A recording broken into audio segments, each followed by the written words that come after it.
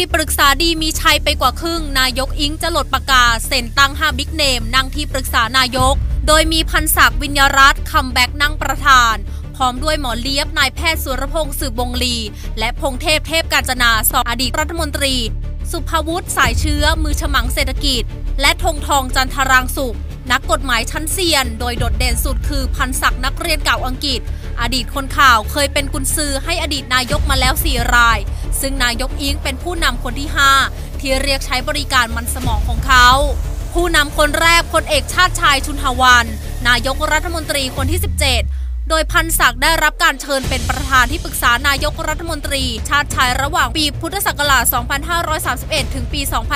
2534 เป็นหัวหน้าทีมที่ปรึกษาที่รู้จักกันในชื่อ ที่ปรึกษาบ้านพิษณุโลกเหล่าชุมนุมดาวดังหลายคน เช่นหม่อมราชวงศ์สุขุมพันธ์บริพักษ์ นรงชัยอัครเสนี บวรศักดิ์อุวันโน สุรเกียรติเสถียรไทย ไกศักดิ์ชุนหวัน วิษณุเครืองาม มีผลงานสุดปังคือเปลี่ยนสนามรบเป็นสนามการค้า คนที่ 2 ทักษิณชินวัตร นายกรัฐมนตรีคนที่ 23 โดยพันศักดิ์เป็นหนึ่งในอดีตผู้ร่วมก่อตั้งพรรคไทยรักไทย และต่อมาเข้ามาเป็นประธานที่ปรึกษาด้านนโยบายให้ทักษิณระหว่างปี 2544 จนถึงปี 2549 เป็นผู้อยู่เบื้องหลังนโยบายสำคัญหลายนโยบายในรัฐบาลทักษิณ1และรัฐบาลทักษิณ2เช่น นโยบายพัฒนาเศรษฐกิจแบบคู่ขนาน หรือที่เรียกกันอีกชื่อหนึ่งว่าทักษิโนมิก รวมไปถึงนโยบายแปลงสินทรัพย์เป็นทุน หรือที่รู้จักกันในชื่อของนโยบายประชานิยม อีกทั้งพันศักดิ์ยังเป็นคนต้นเรื่องว่าด้วยสุราเสรี สุราพื้นบ้าน สุราชุมชน มาตั้งแต่สมัยรัฐบาลทักษิณเมื่อปี 2544 จึงมีนโยบายส่งเสริมเศรษฐกิจชุมชนหนึ่งในนั้น คือการส่งเสริมให้มีการผลิตสุราแช่ชนิดสุราผลไม้ สุราแช่พื้นเมือง และสุรากันนั่นเอง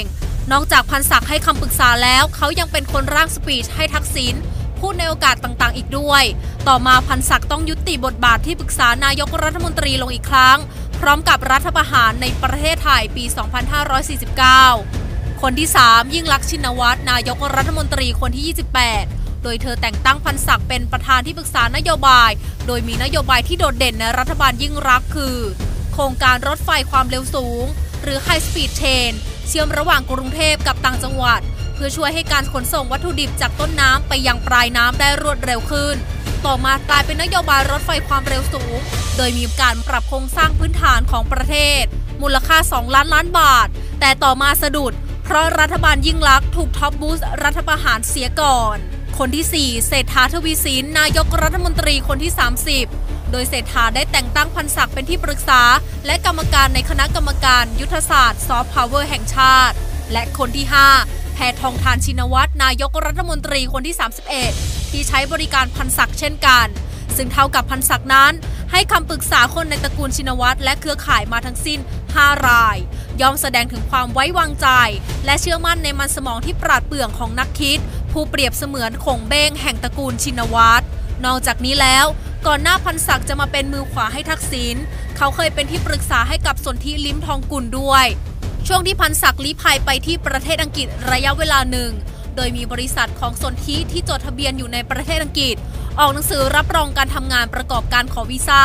และเขาเคยเป็นที่ปรึกษาของสนธิและบรรณาธิการบริหารหนังสือพิมพ์ Asia Times ในเครือหนังสือพิมพ์ผู้จัดการ รวมไปถึงคอลัมนิสต์ ในหนังสือพิมพ์ในเครือ The Manager Media Group ต่อมาสนธิก็หักกับทักษิณรุนแรง อย่างไรก็ตามพันศักดิ์เคยให้สัมภาษณ์กับ Voice TV ครั้งหนึ่งว่า เราอย่าสำคัญตัวผิด เราเป็นแค่ที่ปรึกษา ไม่มีความรับผิดชอบต่อเสียง voter โดยตรง เราให้ความเห็นตรงไปตรงมา เท่าที่ผู้นั้นจะรับได้ อย่าเทคเครดิตกับคนที่เขาต้องรับผิดชอบต่อชีวิตคน และนี่คือความคิดของชายผู้ได้ชื่อว่าเป็นหนึ่งในสุดยอด ของกุนซือที่เก่งที่สุดคนหนึ่งในประเทศไทย